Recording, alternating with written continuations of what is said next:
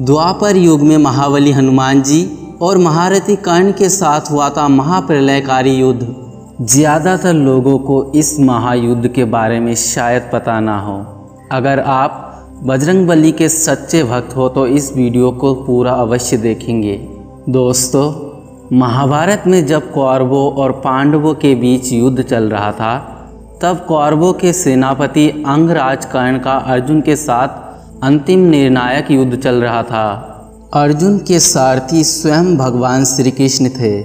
लेकिन क्या आपको पता है, अर्जुन की रक्षा कौन कर रहा था?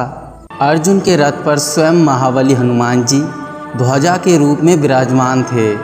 जब जब अंगराज कर्ण ने अपने महाविनाशकारी दिव्य अस्त्रों को अर्जुन पर छोड़ा तो उन सभी अस्त्रों से महाबली हनुमान जी अर्जुन की रक्षा कर रहे थे।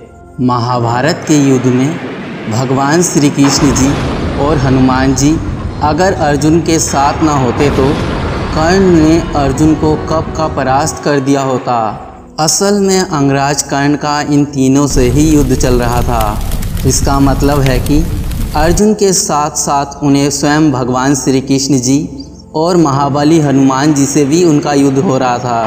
तीनों लोगों के स्वामी भगवान श्री कृष्ण जी और महाबली हनुमान जी जिसकी रक्षा कर रहे थे।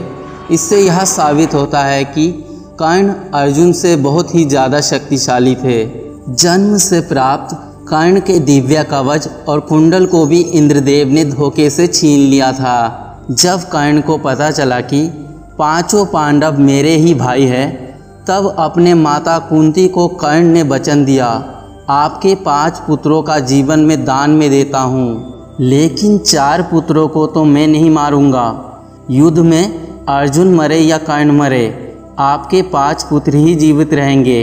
भगवान परशुराम जी ने कर्ण को सभी प्रकार के दिव्य अस्त्रों का ज्ञान दिया था, जिससे अर्जुन की रक्षा केवल हनुमान जी ही कर सकते थे, क्योंकि महाबली हनुमान जी को परम पिता ब्रह्मदेव का वरदान था कि उन्हें किसी भी दिव्य अस्त्रों से कोई हानि नहीं होगी। इसीलिए अजय, अमर, महाबली, हनुमान जी का आवाहन भगवान श्री कृष्ण जी ने अर्जुन की रक्षा के लिए किया था। अंत में भगवान श्री कृष्ण जी ने यह भेद बता दिया था। तब महाबली हनुमान जी को भगवान श्री कृष्ण जी ने प्रकट होने को कहा। जब हनुमान जी ने अपनी ध्वजा अर्जुन के रथ से निकाली तो उसी समय अर्जुन के रथ में महाविस्फोट हुआ, जिससे अर्जुन का रथ पल भर में नष्ट हो गया था। फिर भगवान श्री कृष्ण जी ने अर्जुन से कहा, देखो पार्थ, कर्ण के महाविनाशक अस्त्रों से महाबली हनुमान जी ने ही तुम्हारी रक्षा की हुई थी। इस प्रकार से महाबली हनुमान जी की सहायता से कर्ण पर अर्जुन ने विजय प्राप्त की थी।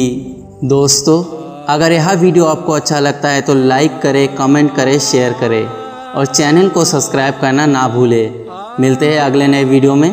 तब तक के लिए धन्यवाद।